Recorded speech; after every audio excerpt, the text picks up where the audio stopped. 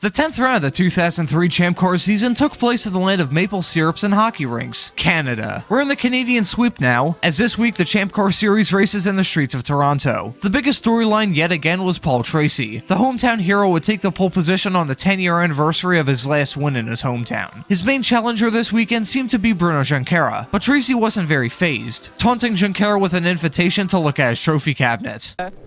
Well, you have to consider the source. Uh, his teammate has won three races and won three poles, and uh, Bruno says that he doesn't know anything about cars. So I'm uh, plenty happy to invite him over to look at my trophy case anytime and see how many trophies I've got to see if I crack.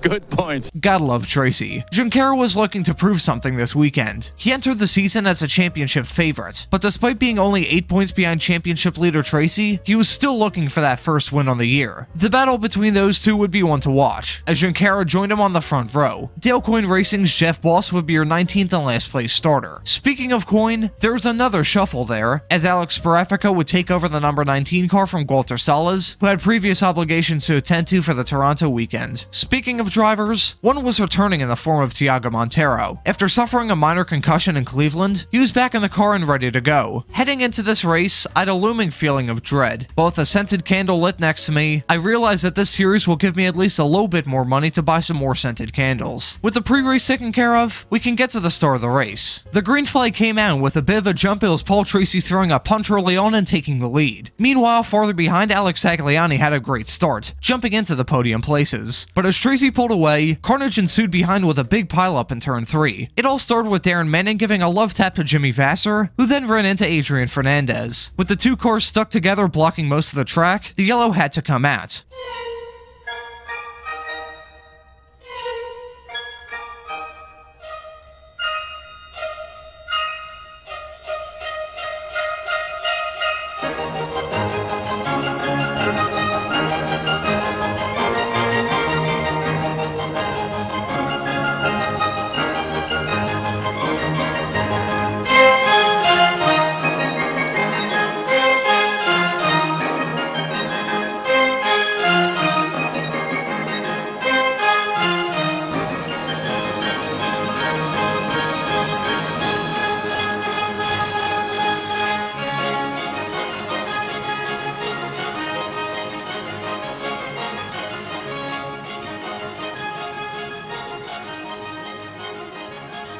It was a disaster for the American team Spirit Johansson team, as both Vasser and Ryan Hunter-Reay would go a lap down. The CBS cover just barely caught the restart on lap 3. I really shouldn't even bother mentioning these at this point. You know, if I had a dollar for every time I complained about the broadcast while making this series, I'd have a collection of lease thongs in my closet and wouldn't be living in the city of Philadelphia. The field was clean this time around, for a few moments. Not very long after this, another incident took place. Once again in turn 3, but this time involving Alex Sperafico and Mario Haberfeld. Haberfeld went to the corner completely locked up and about 50 miles an hour quicker than anyone else, hitting Sperafico in the process, taking the two out of the race, and bringing out the second full course caution. Haberfeld and his team believe something broke on the car, but they never said what exactly broke. Let me point something out about this incident. They didn't show replay of the crash for about 10 minutes. The race had already been restarted by the time they showed a replay of it. Speaking of the restart and replays, CBS missed the ensuing restart while showing some replays of the start. These broadcasts are just so infuriatingly awful. The smell of scented candles are the only thing that keep me sane when watching them. You know, considering the racing action was practically non-existent in the first 20 laps, and practically non-existent for the whole race for that matter, I'll just talk about scented candles for the next few minutes. It's not like we're missing anything exciting, so let me set the calming music and drop the overly exciting voice. Welcome everybody to Candle Corner.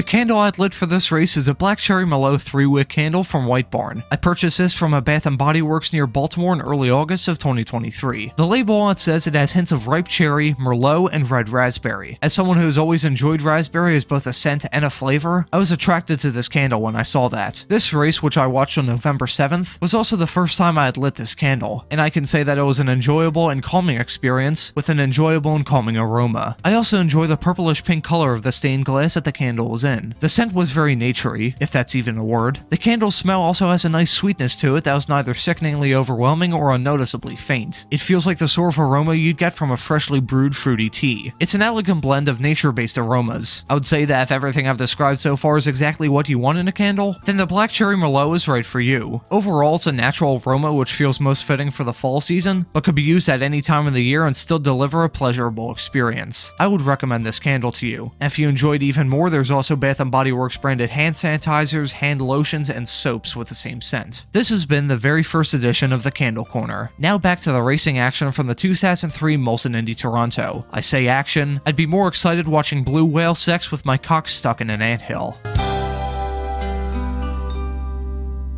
Some action started popping up around lap 25, with Mario Dominguez backing his car into the turn 8 wall, nearly getting hit by Adrian Fernandez in the process. Dominguez was running in the top 10 at the time, but this incident would severely damage his race. An even harder kick in the shins came to Alex Tagliani and his team only a few laps later. He had broken a right rear toe link after getting hit by Bruno Junqueira in turn 3, and was taken out of the race from second. Then not very long after this, a pit stops came around with nothing changing up towards the front as Tracy exited the pit road with the lead. By lap 36, Tracy had began lapping cars running in the top 10 and was leading the race by over 17 seconds. The biggest point of action in this stage was Max Papis having a catastrophic suspension failure going down Lakeshore Boulevard. He not only needed to retire from the race because of it, he also probably needed a change of pants after that. With nothing else of note going on at this stage, I figured I'd share a nice fun fact about this race. According to the broadcast, there's a camera crew at the track filming a pilot for a reality TV show named Life of the Champs, who for this episode were following Jimmy Vasser. To my knowledge, this show never saw the light of day. Tracy kept the lead after the second round of pit stops, and in all honesty, I was starting to doze off. But this race finally got on the R1 lap 78, as an incident with Jimmy Vasser and Mario Dominguez left Vasser stalled on the outside of turn 3. The full course yellow came out for this, ending a 70 lap green flag streak. Tracy's lead was around 33 seconds at the time. Under the yellow, the final pit window opened. There's some weird contention around this, with Bruno Junqueira somehow not catching up to Tracy before the pit stops. Then Junqueira's team was trying to tell the race officials to close the pits. It was strange more than anything else. Tracy was able to hold on to the lead through this, while Junqueira dropped down the order, giving P2 to Michel Jourdain Jr. After an aborted first attempt at the restart, they'd get the race restarted on lap 85. Jourdain needed to keep Tracy within striking distance. Guess what he didn't do? After just one lap, the gap was already north of a second. The gap spread more and more as the laps ticked down, and my boredom increased more and more too. Paul Tracy would lead every lap and take the checkered flag to score the victory in the 2003 Molson Indy Toronto, winning at the track 10 years after his last win there, and taking his fourth victory of the season. Michel Jourdain Jr. would finish about 5 seconds behind in second, while Bruno Junqueira would come home in third. Tracy's win in this race, as far as I'm concerned, was his racing magnum opus, as he absolutely crushed the field. Holy Christ, that was a bad race. That, I think, is a new low from the season, beating out Laguna Seca and Long Beach. I can't really dread about completing the rest of the series, though. We're now officially halfway through it, so I guess that's something. Besides that, there's not a lot to talk about. Even the CBS broadcast realizes as there's no post-race show after they interviewed Tracy. If they have nothing else to say, neither do I. Next race is Vancouver, and I hope you can all join me in one week's time. Thank you all for watching, and have a great afternoon.